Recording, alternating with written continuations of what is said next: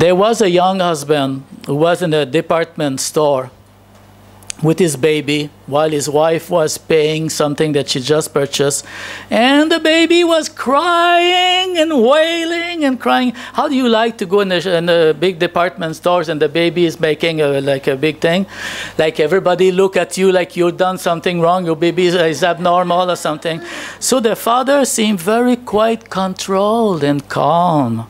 And he looked at his baby and he would say to his baby, Easy now, Albert control your temper.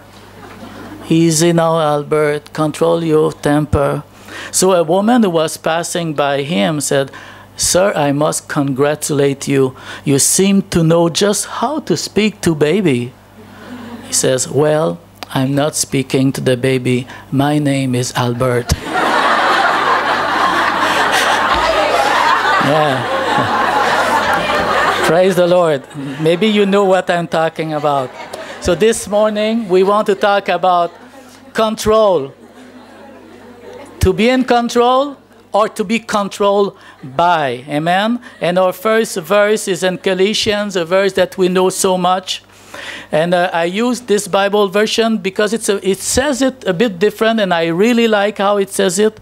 It says, God's Spirit makes us, instead of the fruit of the Spirit is wow, it's so so good to see it and like this because kind of the, the fruit of is kind of a, a bit detached from it. It's like something that happens. But he says the Spirit makes it in me. That's what he makes. He makes me loving. He makes me happy. I remember when I was saved. I was a bit depressed before, and I had been nine years in drugs. I was didn't like my life and where I was in life. Had no hope for the future. And that night, when Jesus Christ came into my heart, I was set free. I was set free, and I was so happy. I was happy to be a Christian. I had love in my heart. I had, I was, I had found peace, and it changed my heart. God the Spirit makes us loving, happy. How many of you, you still feel God makes me happy? If you're happy, turn to your neighbor and give them a smile. Says, I'm happy. I'm happy. Amen. Hallelujah. Praise the Lord. You know, to be happy in the Lord, I want you to realize something this morning. If you are happy in the Lord, it's what the Holy Spirit is doing. It's a fruit. It's the fruit. It's the product of the Holy Spirit in you. And if you look at that text here, the last one is self control. Oh, no, not this one. I like the three first one loving, happy, peace. Oh, I feel good. But self control, I don't like it so much because it has the word self and control together. What does that mean? I have to change my habits, my pattern of life, my excess. I'm eating too much. I'm lazy. Uh, I need to learn how to restrain myself from all sorts of things. And sometimes some Bible version use the word uh, temperance, abstain of. Wow, these are, I don't want to do these things, you know. And also, if you notice that the Holy Spirit here puts the self control in the last thing in the list, does that mean that it is the least in importance? No, I don't think so. It's not by importance that they are listed. Because, as you will see this morning, self control is vital, essential, and it's for your benefit it's for your happiness, it is for your success and for your advance in life. Without it, we're not going anywhere. We will be miserable Christians, we will be dissatisfied, we will be complainers, we will not, you know, have the rest. Because joy happy, peaceful, patient kind of uh, is connected to self-control. It's, it's all interconnected. So we, we, need, we need that. So the term self-control this morning also gives us some uh, wrong impression by the word self because it says God's Holy Spirit makes us. The fruit of the Spirit is. So maybe we should call self control by another name to help us understand really what it is. Because self control, we know that in this world we have people who exercise self control without God. You, you know that, eh? Fashion celebrities, sports celebrities, they can go a long way of self, you know, they can stop eating. They can make themselves skinny. They can, you know, make themselves fat. They can change their appearance as much as they need. Uh, you know some of the sports celebrities, uh, Tiger Woods. What do you know about him? He's a great athlete. He's one of the best golfers in the world. But as he was exercising self-controls in the areas of the physical and the areas of the morality, whoops, something didn't work out so well. Uh, some politicians, some very famous people, you know, the IMF, International Monetary Fund's former directors, uh, yes, Strauss-Kahn, was, you know, very disciplined on certain things, on finance and all of this, but in politics and diplomacy, but in his personal moral life he was a total failure. So so you see that sometimes people will try to exercise self-control in a certain area of their life but in other areas it's not going to work so successfully. Because there's a simple reason because without biblical belief absence of biblical belief will lead to an absence of self control. It's connected together because it is produced by the Holy Spirit.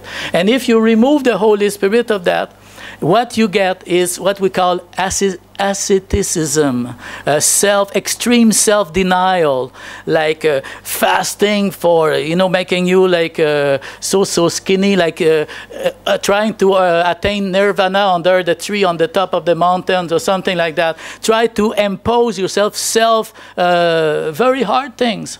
Some people whip themselves. Some people crucify themselves in the Philippine and Easter time. So people can do uh, a lot of things uh, with religion. So it is uh, either self-denials or it is also legalism. What religion has to offer? What is the Old, the Old Testament law has to ask of us? Don't do this. You must do this. You must not do this. You must not kill. You must not covet. You must not lie. You must not be envious. And we do all of the above we hate someone, we cheat someone, we lie to someone, we covet someone, we are envious of someone else. It says don't do it, and we do it all. We break all of them because religion uh, doesn't have the, the power to do it. And that's why the Old Testament was a failure. That's why Jesus came. That's why salvation was offered to us for reconciliation after it proved that man cannot save themselves by following the law, the Old Testament law. Amen? So we're talking about this morning the Spirit producing by indwelling us this control. So we should change the word self-control by spirit inner control power or some kind of terminology like this to understand really what we're talking about. Because self and it kind of mess up the, the terms and itself. Though we have a role into it and we have to, to have the, the willingness to make some choices and to cooperate with the Holy Spirit, that's the self part. But the power comes from the Holy Spirit and the success part. The other slide gives us a, a text here that talks about uh, what rule over us are we slave? Are we free? And all this. For you are a slave to whatever controls you. Is there something that controls you that you are obsessed with, that you, you are practicing all the time, that it is so important you cannot go without it? You would not yield that. No way. This is mine and I'm going to keep it, whether rights or, or an attitudes or uh, uh, some moods or some eh, whatever habits or whatever it is. And the, the real text, if we want to explain this verse a bit more, uh, looking at, at, the, I think I'm looking at the Amplified here, but it is also the, the King James would see it very similar. For by whatever or whom, the King James use whom, someone or something. For by whatever or by whom anyone is made inferior or worse, in a worse state, brought down okay, we have standards, we are, okay, average, not good, not bad. We are pretty good person. Whoever brings you worse, whatever leads you downhill instead of uphill. That's what it means here. Or is overcome by something. To that person or to that thing, he is enslaved. That's what this text is. Whatever person, whatever thing, lead you in a worse state than you are already, pull you down instead of up like in godliness, or overcome you. It's, you cannot help yourself. You're under these things. You are slave of that. Okay?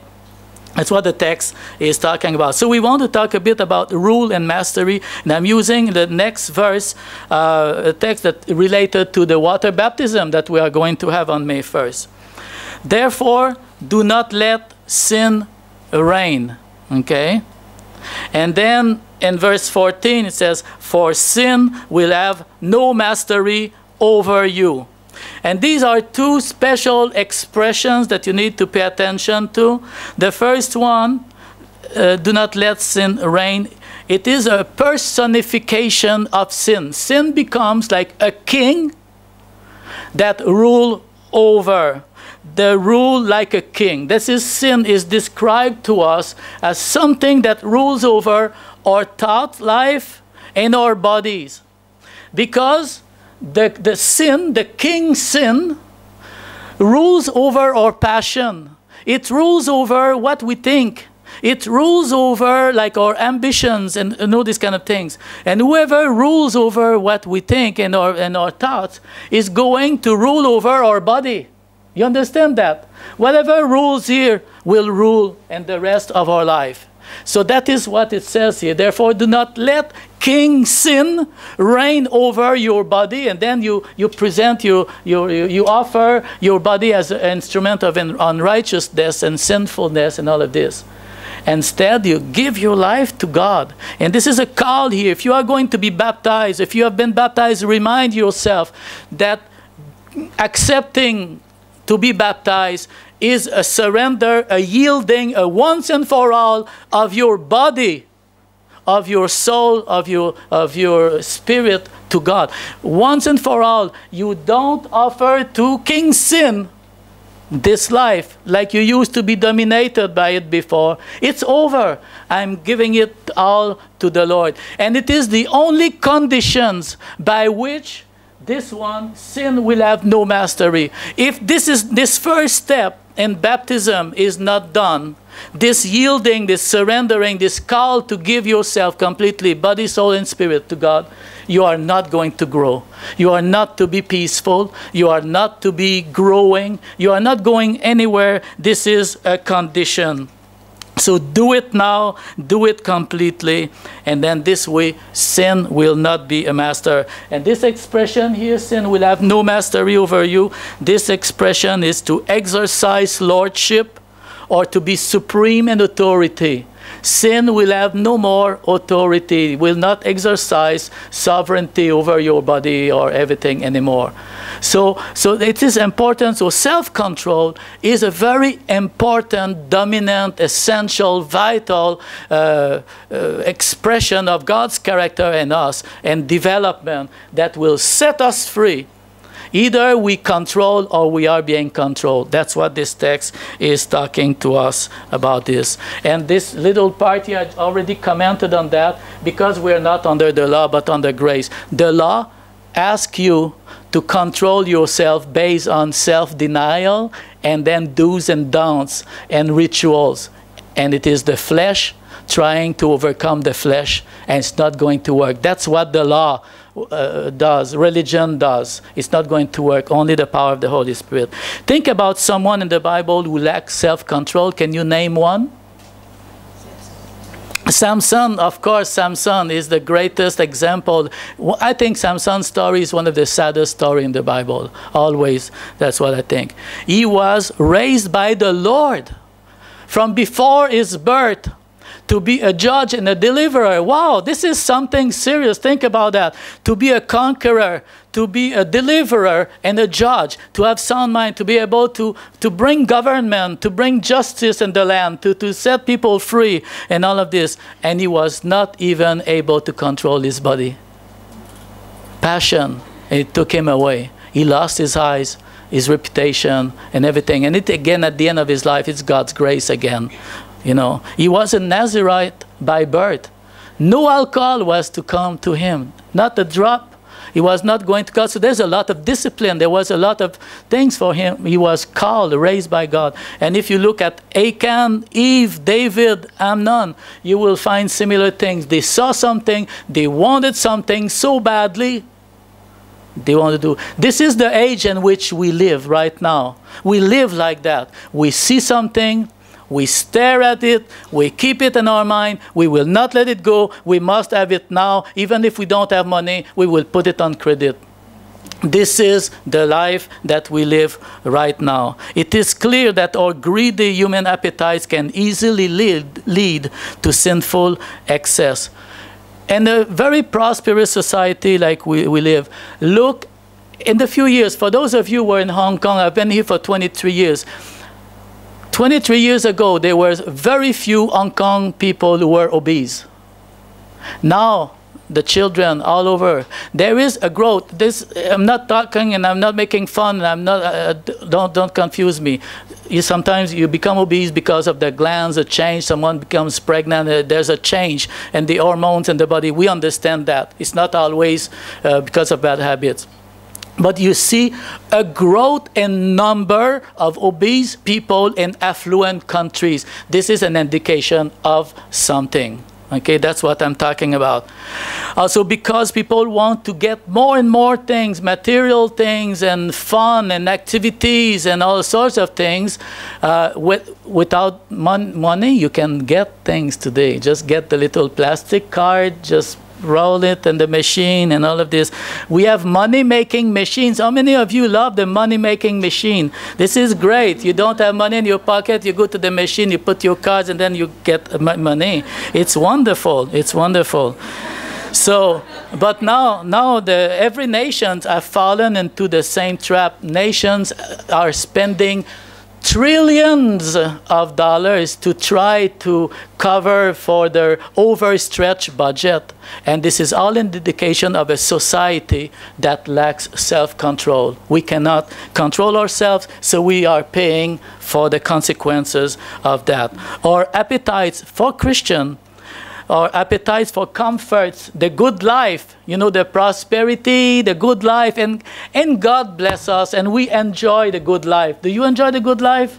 I enjoy the good life. I'm thankful for the good life. But our appetites for the comforts and pleasure can become a master if self-control does not balance. So self-control must be present all over our life. Money, food, um, relationship, it, it must be everywhere. If the spiritual does not govern the physical, we become an easy target for Satan because of a lack of self-control. I'll give you an example, marriage. 1 Corinthians chapter 7, verse 5. Do not deprive each other of sexual relationship. We're married, we have sexual relationship, but we decide to go fasting for a while and to come near to God. So we say, okay, let's do it. Uh, so, and then it says, after a time, come back together because you should come back together again so that Satan won't be able to tempt you because of your lack of self-control. Oh, and this is true in marriage, this is true in sexuality. Now we're not talking about sexual sins and perversion, we're talking about holy a holy place, the holy plan of God. Even within the confine of our own bedrooms and marriage, there's problems. Already there, Satan has access. So if Satan has access and he can even destroy marriage, that, doesn't have to, to go outside, just from within because of problems with our own sexuality. It, people divorce because of that. People go to have affairs because it starts right there at home. Satan can get to us because of a lack of self-control. And and then this is not the only uh, area. It put it in any other areas of relationship. First John chapter 2 verse 16 we don't have it here but talks about the three P's passion pride and pleasure. Passion pleasure and pride. And this is the what we, is, we are struggling with all the time all the time. If these forces passion pleasure and pride dominate our lives instead of our spiritual ability to connect with God we will delay obedience. We're not ready now because pleasure is more important than the obedience that we know God is asking of us. Or we will refuse to obey what we know is God's will, and we will accept sin because these things, passion, pleasure, or pride, are the elements that are dominating over my life and not the Holy Spirit inner control in, in my life. Amen? Now I want to go a bit further and give to you uh, three New Testament groups of words that will help us to understand more in depth uh, the importance of, uh, of, of self-control. Uh, three, three groups, you can just click, click, click all of them. Uh, we have the, the, these three groups of words. These, whatever Bible version you use, you will find that these words are intermixed, like depending on which Bible version, but they are more or less the same. But they are divided into three groups. The enkratia group, which is comes from kratos, just remember this one as the power. Power to control, power to say no, power to abstain, power. The strength, the inner strength. So that is one word. The second group is so, sophronismos, which is uh, the sophos, that means uh, uh, wisdom. That's the, the sophia, philosophy, the, the, the love of uh, uh, wisdom. So that's the wisdom, the ability to, to think before acting, to be prudent, to, you know, these kind of things. And the third group here is about uh, keeping a clear mind uh, regardless of circumstances. And we will see how this being uh, applied through uh, Bible scriptures uh, with us here. Let's look at the first group, and we find two Bible verse here. 1 Corinthians chapter 7, verse 9. That goes back to the same chapter we looked before for marriage. We're still in marriage here, but now we're talking to single. Huh? So if you are single this morning, but if they can't control themselves, they should go ahead and marry because it's better to marry than to burn with passion. Okay, so they cannot control themselves and the areas of sexuality. They will go into fornications, they will go into sexual sins, they will get into bondage or whatever. They cannot control that. Then marriage is better than to live a life of disorder, of sexual disorders and everything. There's, Th that's what it means. There's no self-control in this area of sexuality, then it's very dangerous and it will destroy something of that person. So that is what this is talking about. 1 Corinthians chapter 9, verse 25, we find here a comparison of the Christians with an athlete. Everyone who enters an athletic contest practices self-control or uh, shows uh, uh, is a, a, temperate is temperate or is disciplined and everything or exercise self restraint so here is power. I can control it. I have the power the inner power the inner strength. It's there. I i i i, I need something like just an athlete and i can control my diet I can control the time I go to sleep and I wake up in the morning. I can control my physical training. I have this inner possibility uh, inside of me. Paul, a little bit further in chapter 9, says that uh, he, he, says, I beat my body and make it, make it my slave. So what he is saying is that his body is under his dominion and control of his mind. His body obeys his mind. He has the, the mind, the power in his mind to control his body, and not the other way around. Because many times the body, the, the needs, the physical, the sexuality, uh, the hunger, uh, we want to drink with excess, we want to eat with excess, we want to do things with excess because our, our worldly appetites, our human appetites, control our mind.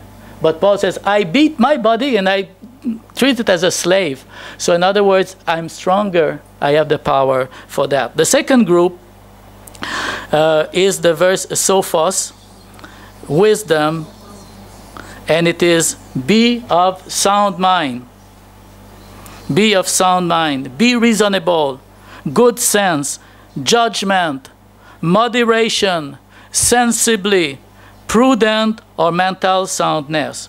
And we have that in Titus 2:6. In the same way, encourage the young men to live wisely. Some Bible will say use to be self-control, self-discipline, to show temperance. They will use all of these things to live sensibly, to live with wisdom, to be prudent. Because th these words are interrelated, but this one here refers more to use wisdom common sense, good judgment. That's different from the other one before it was, I have the strength, inner strength to control something, some appetites. This one is like, I'm able to think before acting. I'm able to make the difference between what is, what will be destructive for me, what is not beneficial for me, what, what kind of consequences it will bring into my life. Have the ability to use wisdom to sort out these things, to be prudent, prudence before signing the contract, you know, before spending the money, before using credit, uh, uh, before uh, yielding into uh, infatuations or sexual relationship, or, or, you know, the boyfriend says, if you love me, then, you know, Oh, yes, I love you. Do you really love me? Yes, you know I do. If you do love me, then. Well, yes, I love you, but I don't want to do it. Yeah. Okay, uh, mental soundness and moderation and everything. Then you have another one. I like the other one because it's, it's very special, uh, 1 Timothy 2 9. And I desire that women should adorn themselves. We were talking about clothes appearance, adorn themselves modestly, appropriately, and sensibly. Now we're talking about, you know, self-control and to shopping. You go to shopping mall and you need self-control. Can you think about this? You need self-control in the shopping mall, yes. And also, you need to think about something. I was reading an article not too long ago, and why do Christian girls take sexy selfies. Okay, did you understand what I just says?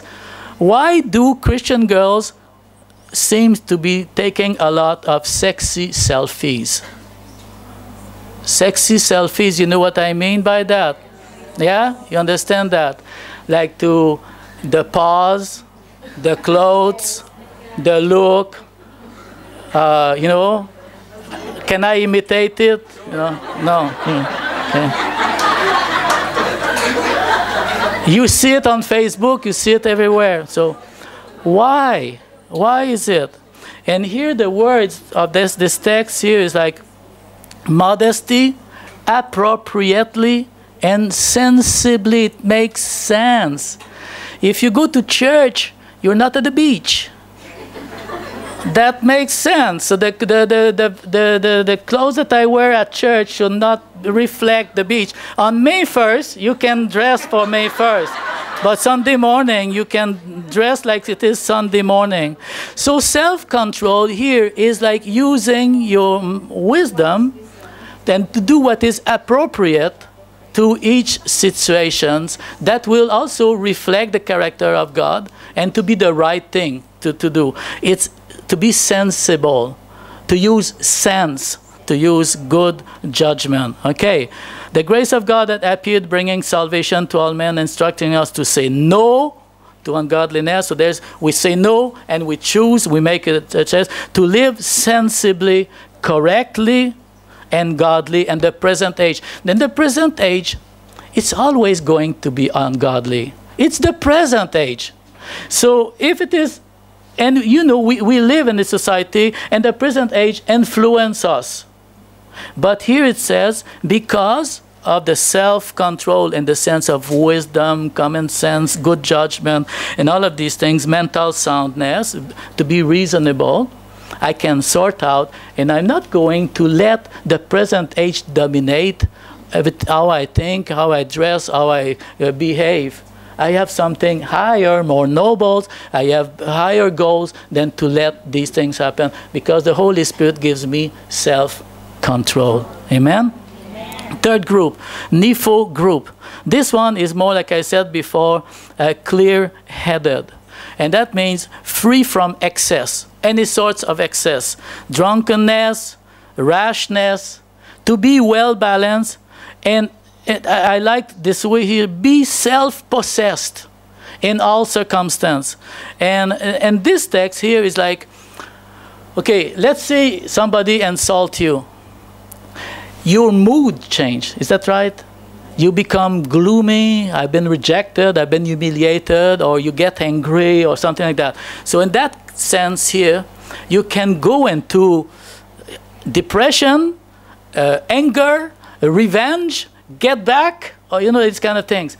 But this word here means you don't go into excess, you keep a clear minded, and circumstances do not control either your mood, you don't get into excess. When Jesus Christ comes again, we will be alert and fully sober. So we are clear headed. 2 Timothy 4 5. Here is, it's good because we're talking about ministry.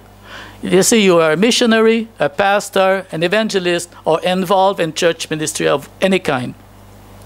You've been called by God but then you go through hardship, no money, rejections, difficulties of different kinds at home, uh, all sorts of uh, external circumstances. It is easy to lose your focus, get confused, get weakened, get discouraged, and quit.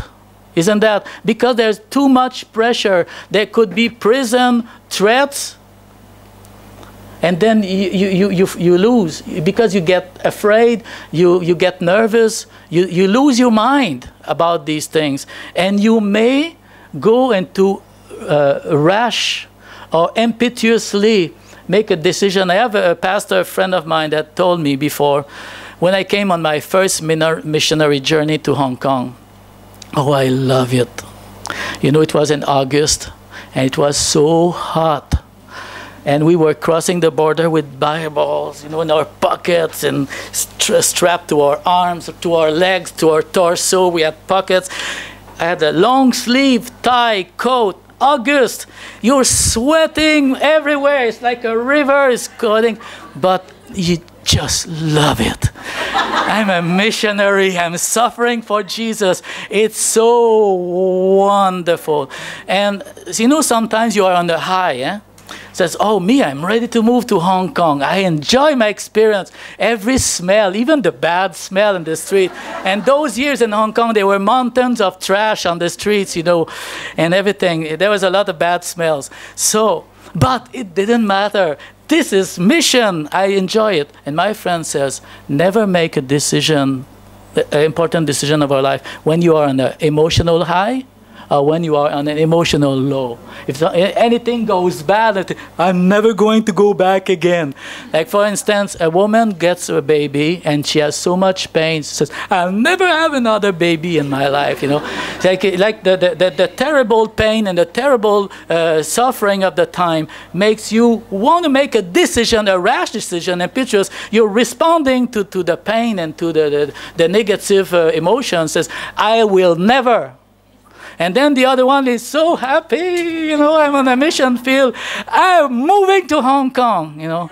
And then he says, let it die, let it cool off. And if it is God who is in that, He will ra raise it back. It will come back. And then you can analyze and you can decide and everything. So it's a bit the descriptions of this self control thing here. Keep your head. Don't go rush into something. Don't be too impetuous about doing something uh, good or bad. And don't lose your focus. Like, for instance, for the work of an evangelist, endure suffering. There's a context of suffering. But continue to be an evangelist. Keep your focus. Remain loyal regardless of the circumstance. You're an evangelist not because of the circumstance. You're an evangelist because God called you to be. So, so self-control reminds you that. Why am I here? What's going on in my life? Who am I serving? You know, self-control help you to think and not panic and do something. I'm quitting because I don't like your face anymore, you know. so uh, we, we don't do this, this, kind, this, this kind of things. The, the next one is be sober, be watchful. Your adversary, the devil, uh, prowls around you. Here we have the devil. The devil is our fiercest, the most dangerous person that has to do with our life. The destroyer, the, the murderer, the, the, the liar, the, you know, and everything. So he is there. So we need that self, that attributes of self-control, the clear mind, the clear head to differentiate, to know what's really happening. This is a time of testing. This is a time of temptation. The devil is trying to entrap me into this and to that. We see clearly, we keep our focus and everything. And then the, the next one, there are two words of the two groups. And First Peter chapter 4, verse 7, you see two of the words, the sophos, the wisdom. The first, therefore, be self-control. The end of all things is at hand, therefore be self-control is like the wisdom part of it. The wisdom that says, be reasonable, be of good sense, judgment, sensibly, prudent, moderation, mental soundness. Have that. And sober-minded, that is the needful one. Keep a clear mind for the sake of your prayers. Don't lose your identity. Jesus is coming again. What's your life going to be? Are you prepared? Are you ready? You know, so this aspect of the work of the Holy Spirit is very, very important. And I want to conclude with very fast, I'll go fast over the sections. Other benefits to those who exercise uh, self-control or spirit inner control. First, people with self-control master their, their moods. You know, events, people, bad news, uh, sickness, or whatever uh, affect us, but do not let your mood master you. People with self-control master their moods. We make a lot of judgment and decisions and it will affect our relationship or moods. I'm not happy today, so don't talk to me. Don't step on, don't, don't step on my toes. Like, uh, don't talk to me after before breakfast because you will know what uh, you know. Uh, I d- didn't sleep well last night, so. People with self-control master their moods. Number two, people with self-control watch their words. This is one of the worst, worst areas where we mess up our relationship. We hurt people. We regret what we have said in our words. We have so much destructions because of this little member in our mouth. People with self-control watch their words. Okay?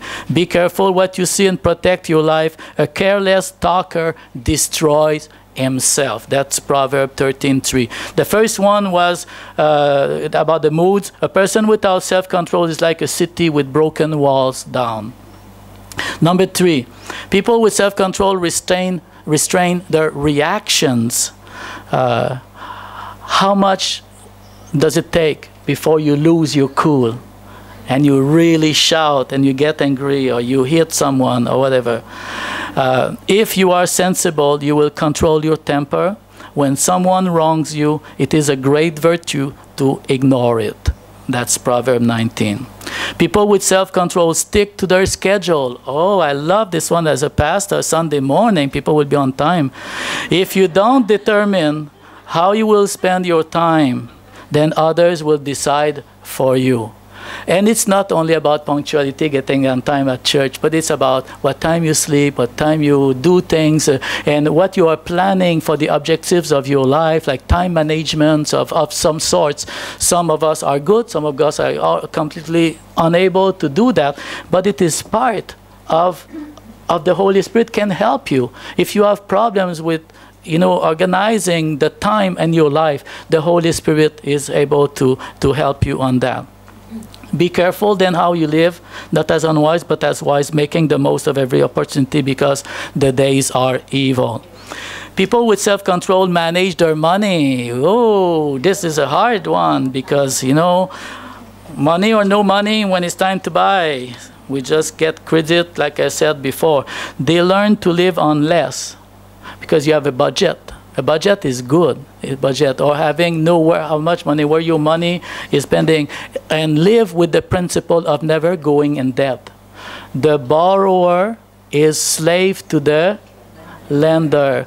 Proverbs says never sign or co-sign for somebody else because you get into the same trouble and everything. So People with self-control manage money. It's time to buy. It's not time to buy. Let's wait. Be patient. Use the sophos, the wisdom. Keep your mind clear. Keep your focus. Have the power to abstain in some things. Control your spending. Don't get crazy. I have counseled before in marital counseling couples just with this problem here. People, they are not together anymore money and i know many couples that just come to my mind just i speak to you.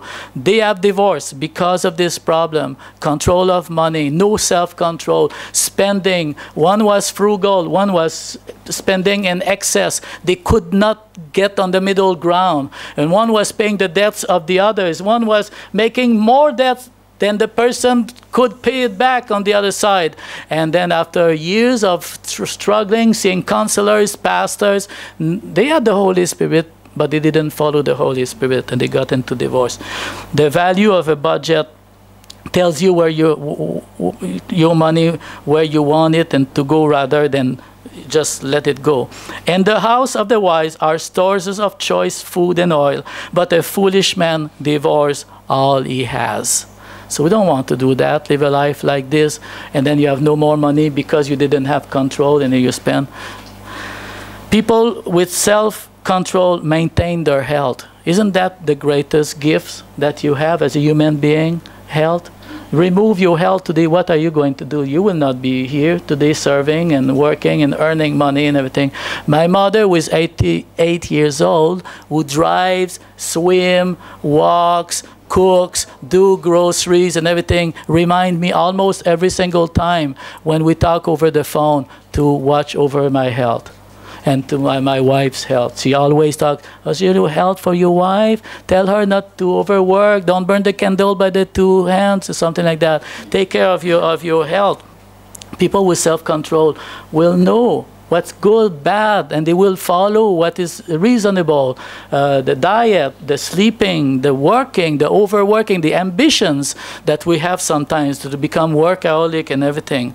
Learn to appreciate and give dignity to your body.